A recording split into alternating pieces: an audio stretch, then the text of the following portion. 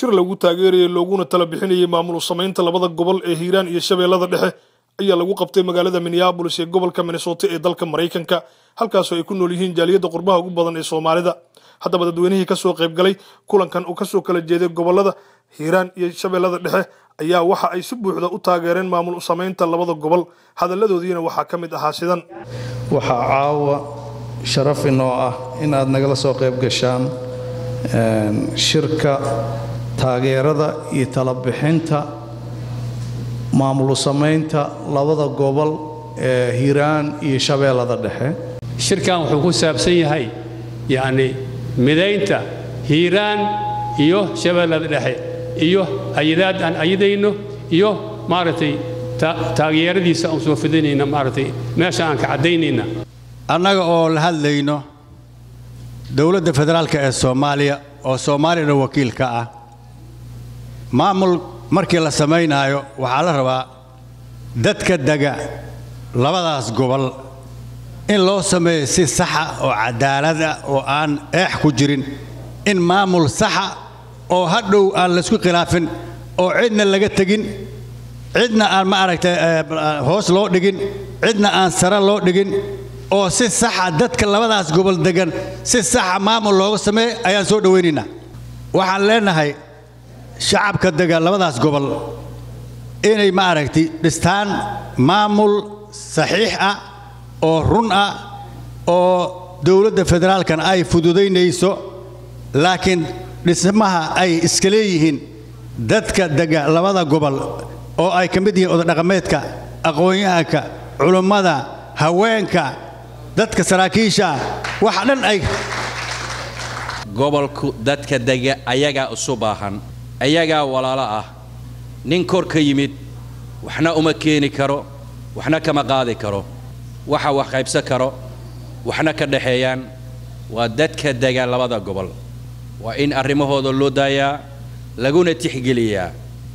Dowladda federaalke waxaan mar labaad u sheegaynaa inay shirkaas siyaasadda ee labada gobol dadka dega wadatashi iyo xuraamin ay u samaysaa loona dhammaadaa shirka.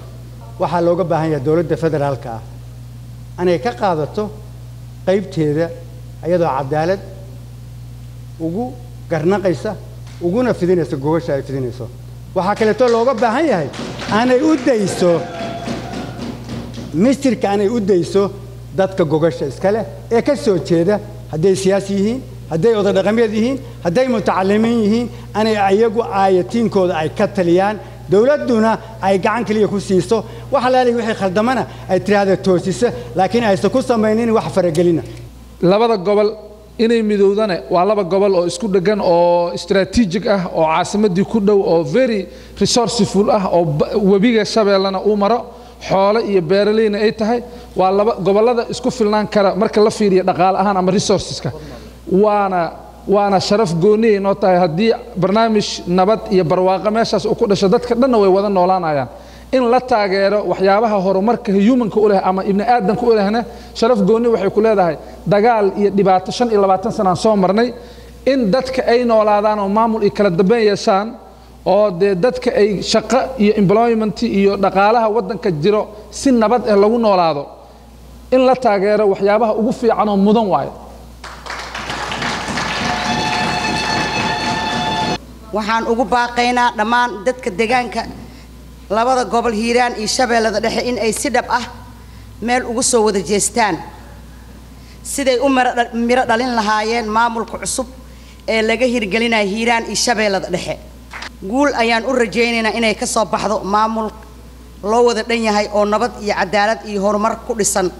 Ugu dambayntii waxaa halkaa laga soo jeediyey warmurtiyeed ku aadan kulankan. Baaq ku socda madaxda dowladda federaalka soomaaliya waa iyo waxgaradka hiiraan iyo shabeellada dhexe.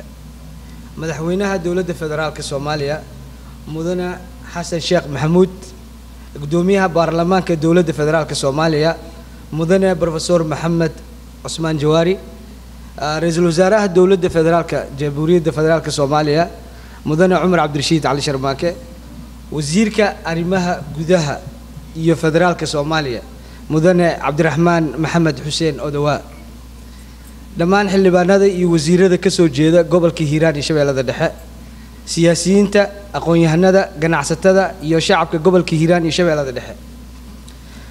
Annagoo ku hadlayna shacabka dega gobollada hiiraan iyo shabeellada dhexe waxaan isku raacnay qodobadan hoos ku qoran. Qodobka koowaad waxaan si buuxda u taageersannahay midaynta labada gobol hiiraan iyo shabeellada dhexe. Waxaan dowladda ka doonaynaa in ay u fududayso shacabka degaan shacabka dega hiiraan iyo shabeellada dhexe inay dhistaan maamul goboleed loo dhan yahay. Oo aysan dowladda ku fududaan go'aan carqaladayn kara wada shaqaynta beelaha dega labada gobol iyo habsoomi socodka processka loo marayo in maamulada labada gobol u qabsamaan. Si dadka dega ay u aqbalaan ay u aqbalaan in loo soo maro process oo dadka o dhan wada aqbalsan yihiin. Qodobka labaad waxaan ka digaynaa in loo maro dhisidda maamulka. Maamulkan labada gobol qaab aan waafaqsaneen. Muwaafaqada dadka dega labada gobol.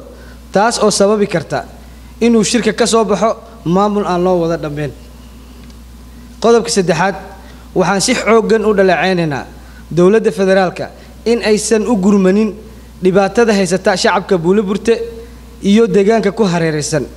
Buuliburte waxaa ka jirta xaalad bini-aadinimo oo adag oo ay sabab u tahay dowladda federaalka soomaaliya. Dowladda federaalka waxay sheegeen in ay ka sifeeyeen maleeshiyaadka al-shabaab oo deegaanka maamulayay nasiib darro. Ciidamada dowladda waxay ku jireen xayndaabkii xerooyinka degmada buuliburte iyada oo ay hareereeyeen magaalada buuliburte ayna go'doomiyeen al-shabaab wax raashiin ah agab iyo sahay ah ma soo geli karaan magaaladaas. Dhammaan xildhibaanada iyo wasiirada ka soo jeeda hiiraan. Waxaan waa in xaaladda bini-aadamo si deg deg ah uga hadlaan. Madaxweyne xasan sheekh iyo prime minister cumar cabdirashiid waa in arrintan halista ah soo farageliyaan waa in dowladda arrintan si deg deg ah u adrees gareeyaan.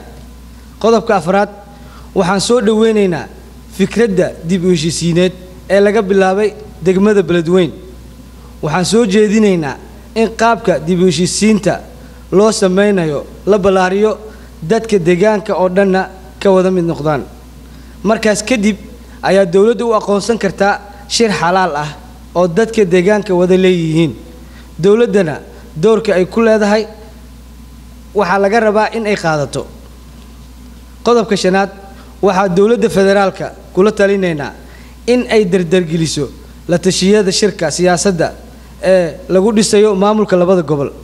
Talooyinka lagu salaynayo in la bilaabo shirka siyaasadda waa in si dhab ah looga wada tashadaa qaab qaabka ugu wacan ee shirka siyaasadda loo bilaabi karo. Magaalada shirka lagu qabanayo yaa noqonayo marjica ama saxiixayaasha qodobka lixaad waxaan ugu baaqaynaa dhammaan dadka deegaanka labada gobol hiiraan iyo shabeellada dhexe in ay si dhab ah meel uga soo wada jeestaan siday ugu mari dhalin lahaayeen. Maamulkan cusub ee la hirgelinayo hiiraan iyo shabeellada dhexe mahadsanideen ugu dambayntii waxaa halkaa laga soo jeediyey warmurtiyeed ku aadan kulankan waxa ayna ka codsadeen dowladda federaalk ee soomaaliya in si habsami ah oo ay ku jirto cadaalad shirkan uu qabsoomo looguna dhiso maamul ay dadkoo dhan ka wada muuqdaan